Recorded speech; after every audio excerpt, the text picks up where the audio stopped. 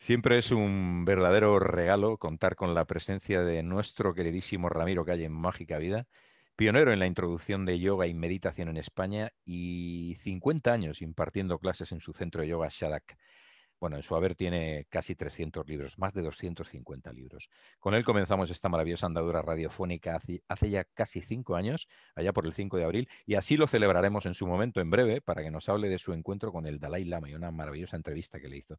Pero hoy nos queremos que nos hable de la nueva reedición, de una nueva reedición para la Biblioteca Ramiro Calle de Mandala Ediciones, Guía Práctica de Salud Emocional. Bueno, querido Ramiro, iba a darte la bienvenida a Mágica Vida, pero que para mí siempre estás muy presente, así que de nuevo la bienvenida no tiene mucho sentido. Un placer saludarte, aunque sea. Muchas gracias. Gracias, Nino. Es un placer también para mí. Así que dispuesto a que me hagas todas las preguntas que quieras y que comentemos todo a propósito de ese vastísimo tema que es el de las emociones. Sí, efectivamente, desde luego. Y más actualmente, como estamos muchos, ¿no? Bueno, el guía práctica de salud emocional.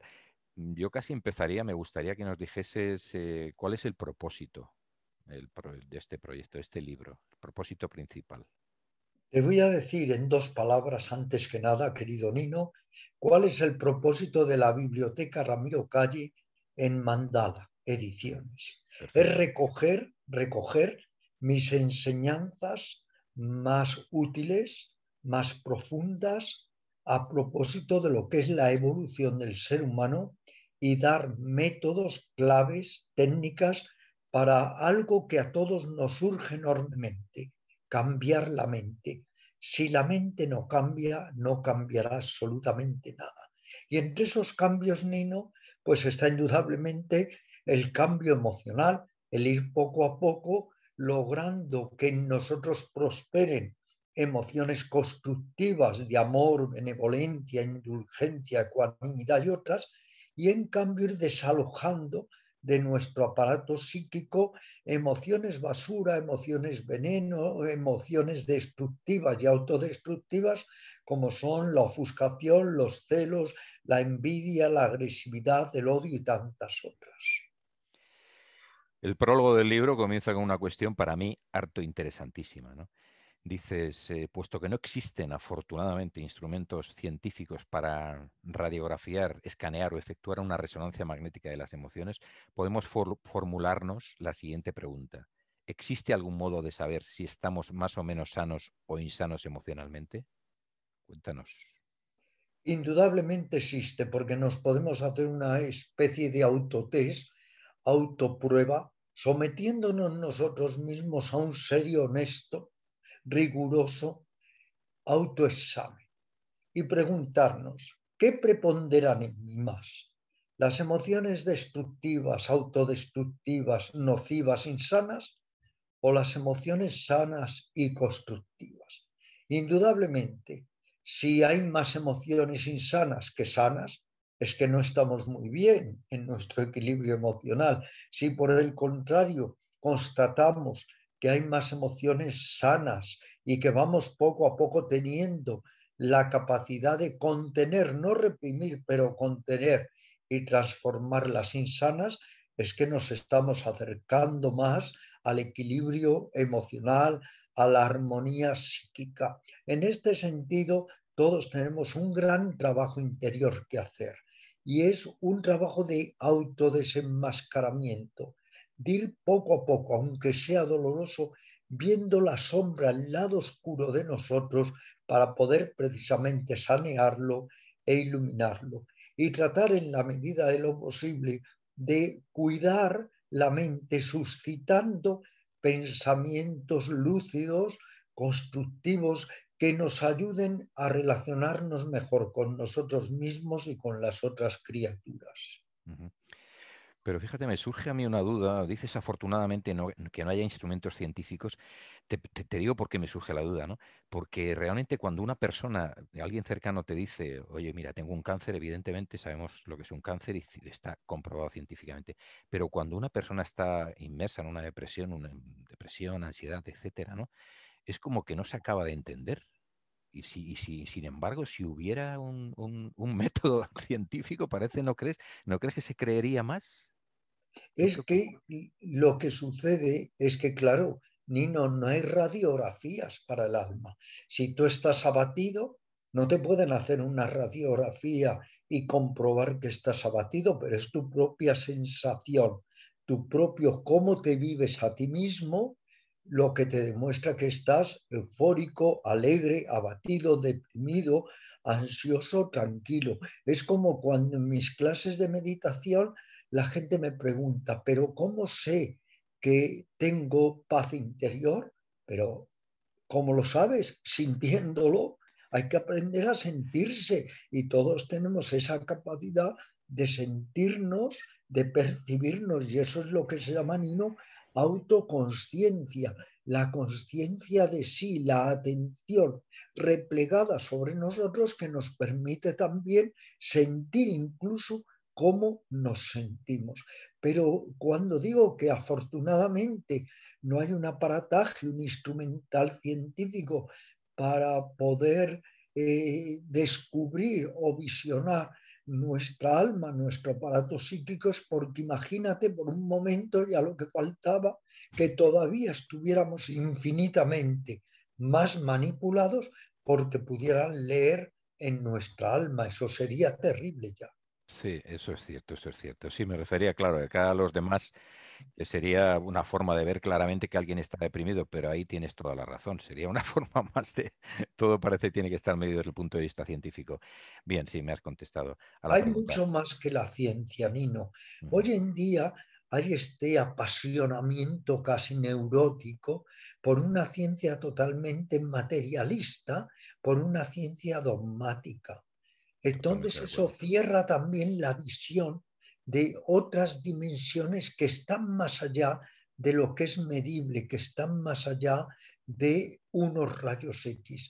Yo creo que el verdadero científico es el que tiene una mentalidad abierta, expansiva, el que sí quiere demostrarlo todo con eh, las pruebas, pero es que también hay una prueba muy importante que es la experiencia personal.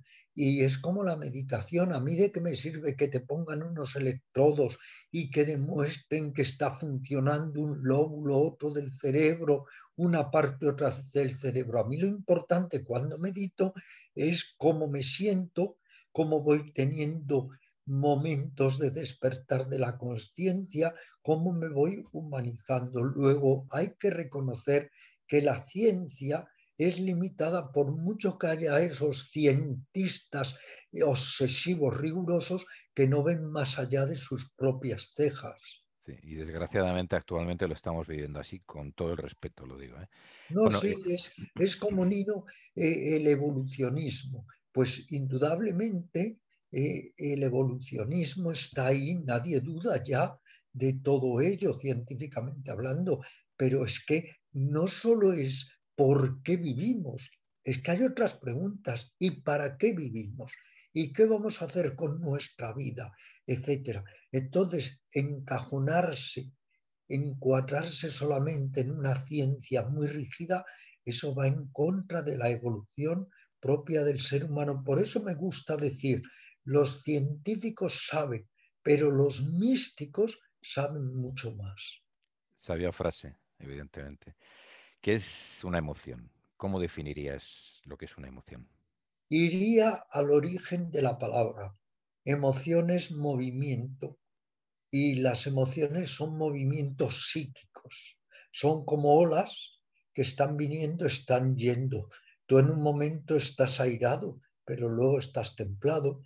En un momento estás triste, pero luego estás alegre vamos todos pasando por emociones muy diversas. El secreto está en saber seleccionarlas y en saber potenciar aquellas que son las emociones bellas. Por eso siempre digo, puedes hacer de tu mente un estercolero o un vergel.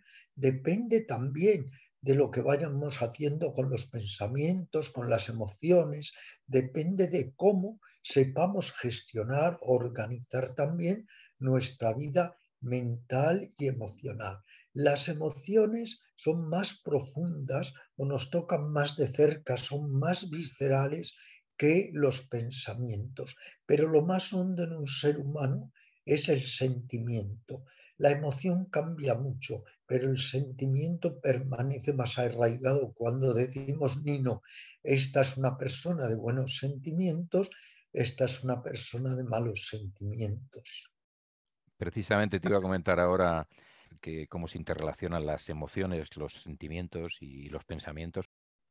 La línea divisoria es muy, muy quebradiza, es muy débil, pero los pensamientos influyen en las emociones y las emociones crean pensamientos y todo ello forma lo que en el yoga llamamos el órgano psicomental. No se hace tanta diferencia entre emociones, pensamientos, sentimientos, todo eso forma el órgano psíquico de la persona. Bien. ¿Por dónde, ¿Por dónde debemos empezar para tener salud emocional? Debemos empezar por lo que llamamos llevar a cabo el trabajo interior. Igual que en nuestra vida tenemos un trabajo, hay otro tipo de trabajo más íntimo, más privativo, más cercano, que es el trabajo que podemos hacer sobre nosotros mismos y que parte de la motivación o el firme ideal de que podemos ser más libres, mentalmente más independientes, emocionalmente más ecuánimes. Y este trabajo tiene sus leyes, tiene sus métodos, tiene sus enseñanzas que van desde la autoobservación, el autodesenmascaramiento, el autoanálisis, la práctica de la meditación, la visualización, la concentración y otras muchas técnicas. Es un trabajo muy definido que viene dado al ser humano afortunadamente desde hace 5.000 o 6.000 años. Y lo que uno debe darse cuenta, tiene que comprender claramente que no hay ninguna actitud más derrotista y más fea de aquella que dice uno es como es. No, uno es también como quiere ser. Uno tiene que aspirar a ser mejor, más bella persona, a ser más lúcido, más consciente. Eso de uno es como es es resignarse a la propia imbecilidad de por vida. Y eso es una pena porque el ser humano es un ser de aprendizaje que podemos mejorar y que podemos ir poco a poco enriqueciendo tanto nuestra vida mental, emocional, cultural, artística, como la relación con las otras criaturas, por supuesto siempre incluyendo los animales, porque yo soy un gran amante de los animales con los que hemos cometido desde luego eh, unas injusticias terribles. Comparto contigo ambas cosas, ¿no? Es muy triste escuchar a alguien cuando te dice, cuando te responde, y es que ya sabes cómo soy. No, no, no, no comparto. no, porque si eres un mentecato, pues quédate toda tu vida siendo un mentecato. Allá tú, si lo que quieres tener es una conciencia de lechuga, pues perfecto, es tu opción, pero como yo lo que quiero es humanizarme, lo que quiero es ser mejor persona, lo que quiero es sentirme mejor conmigo mismo y con los demás, pues no me voy a resignar nunca a mi propia imbecilidad. Comparo contigo lo que estás diciendo totalmente. Mm, ¿Se puede decir que somos lo que sentimos? Mira, somos lo que pensamos, somos lo que sentimos, somos el resultado de pensamientos y sentimientos, pero somos algo más, somos conciencia. Y la conciencia es esa especial atención, esa gema de la mente que nos permite a la vez saber lo que estamos pensando y lo que estamos diciendo y lo que estamos sintiendo y lo que estamos haciendo.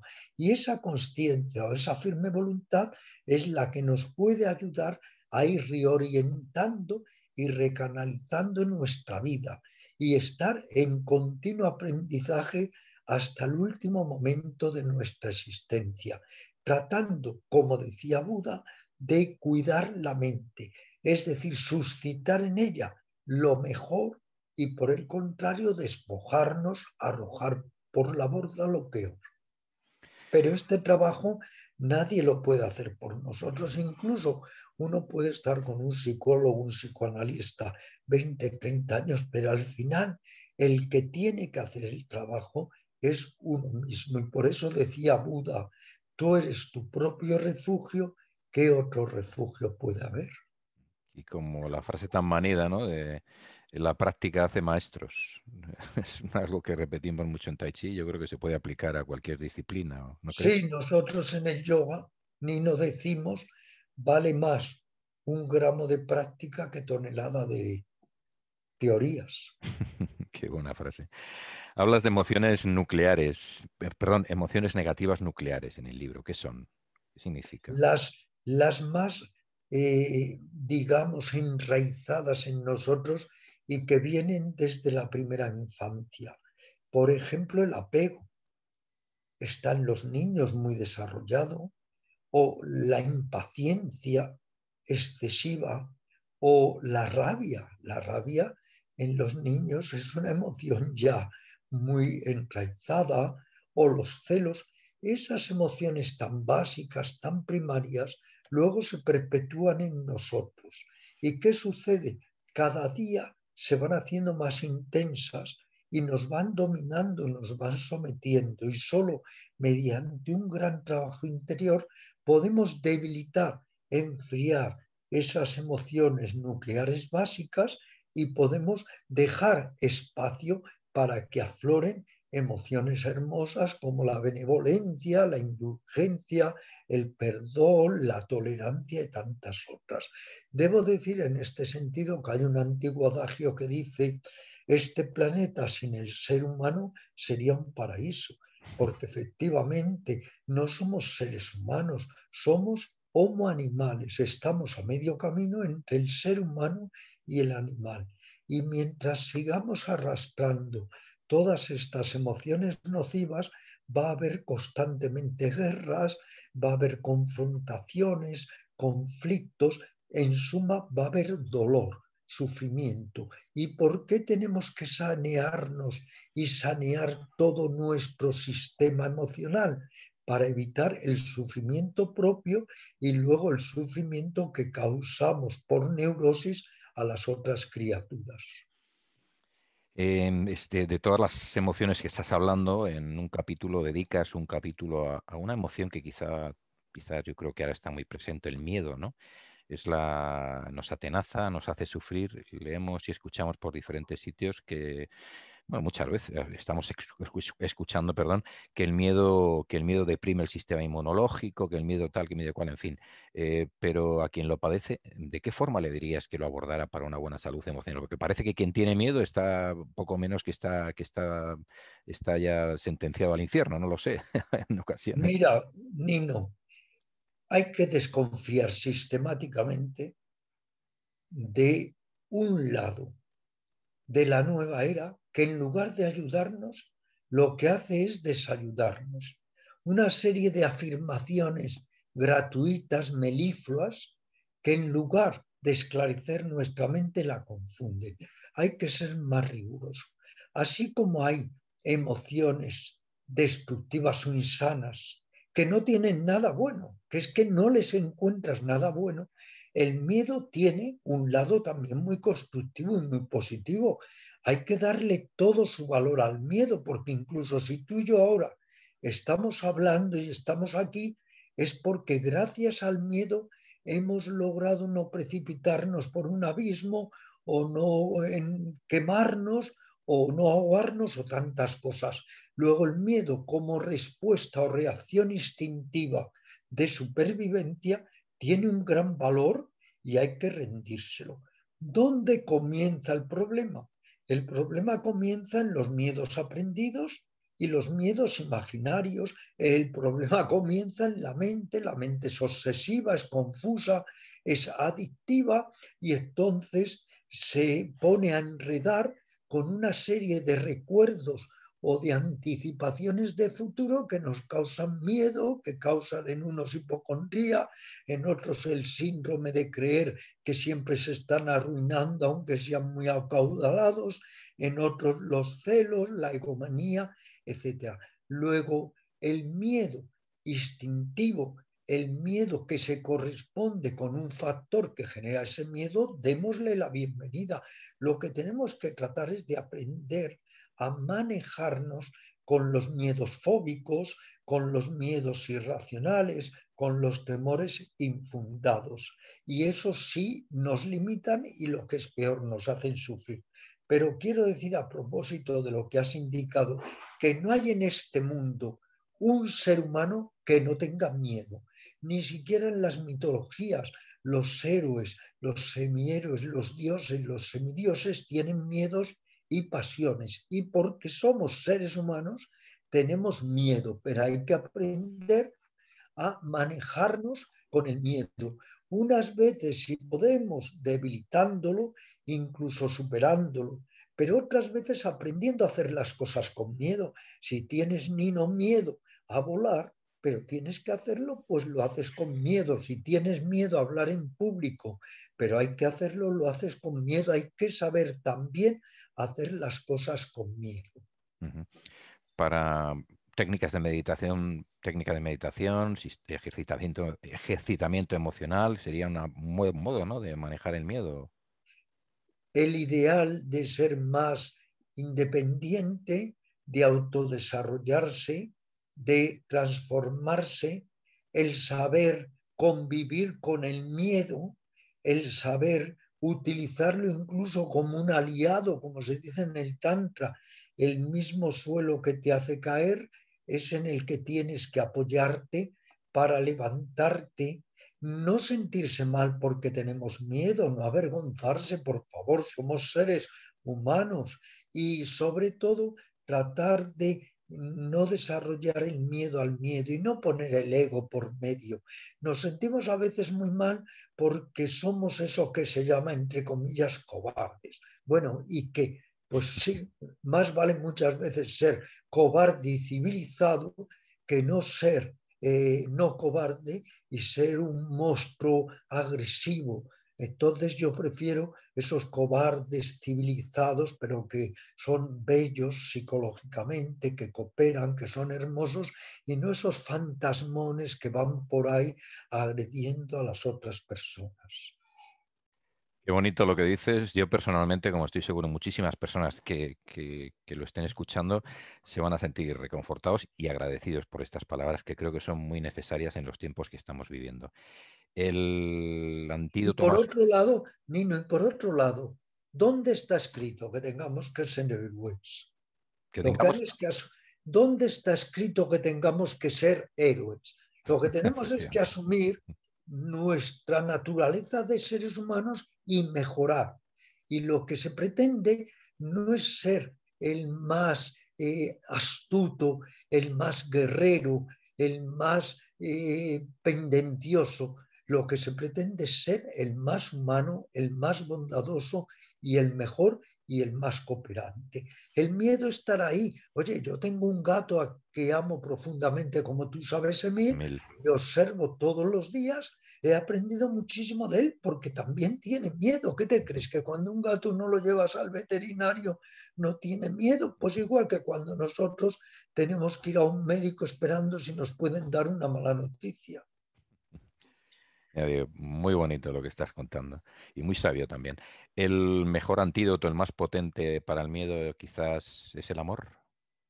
El amor, la motivación de ser libre, la comprensión profunda de ese miedo y la comprensión profunda de nuestra naturaleza humana y de sus mecanismos y que le demos el valor al miedo que el miedo tiene porque, repito, sin miedo no sobreviviríamos.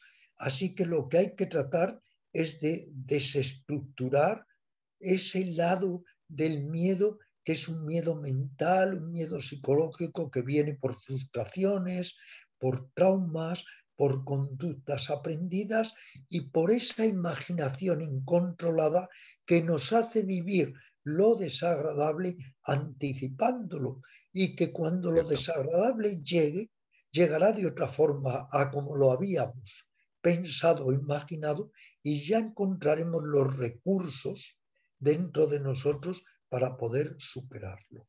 Hay por eso que ocuparse y no preocuparse. Sí, sí, ciertamente. Además el miedo, bueno, también le dedicas un capítulo especial a la ansiedad. Ya tienes, ya presentamos en Mágica Vida el libro ante la ansiedad, pero es muy interesante también que lo, que lo hables aquí, ¿no? Además de todas las otras emociones que hemos dicho, que, invitamos al, oyente a que, que, se dirija al libro, que es muy interesante, ¿no? Y bueno, casi para ir terminando, los cuatro elixires emocionales, con un cuento pleno de sabiduría que me ha encantado, un breve cuento, pero muy bonito, ¿no? Sí, eh, bueno, hay tantas historias espirituales bellísimas que he ido recogiendo a lo largo de todos estos años que son anónimas y en muy pocas palabras dicen más que tratados enteros de filosofía, metafísica, psicología. Pero con respecto a lo que se llama así las cuatro sublimidades, los cuatro estados sublimes, son emociones preciosas que todos tenemos que desarrollar, como son el amor, la compasión, la alegría compartida, que es el antídoto de la envidia, y por supuesto esa cualidad de cualidades de cualidades, que es la ecuanimidad, que incluso en los tiempos adversos o difíciles que vivimos ahora y que la humanidad siempre vive, la cualidad que más nos puede ayudar es ecuanimidad, que quiere decir firmeza de mente, ánimo estable y equilibrado. Bueno, no tiene desperdicio lo que dices nunca, la verdad. Y bueno, para ir ya para terminar la entrevista, ¿no? No queremos desvelar más sobre el libro, que como se dice ahora actualmente no queremos hacer spoiler, pero sí terminas con técnicas de meditación, sistemas de ejercitamiento, ¿no?